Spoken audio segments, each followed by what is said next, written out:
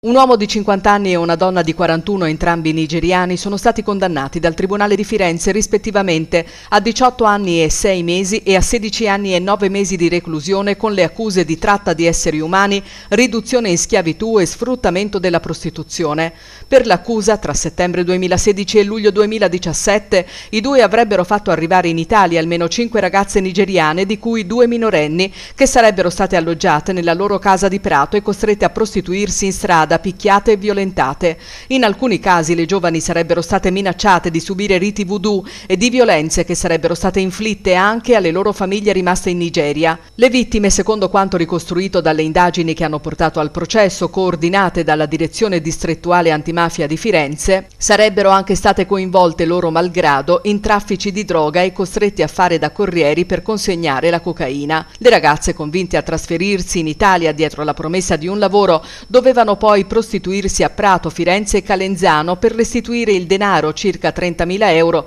che i due sostenevano di aver speso per il loro viaggio. In alcuni casi, se non riuscivano a portare a casa abbastanza denaro, le giovani venivano picchiate con violenza fino a farle svenire, un modo per dimostrare che nessuno poteva più sottrarsi alla volontà della coppia. L'accusa contestava al cinquantenne anche un presunto stupro di gruppo nei confronti di una delle ragazze, accusa dalla quale è stato assolto per non aver commesso il fatto in insieme a un altro imputato suo connazionale.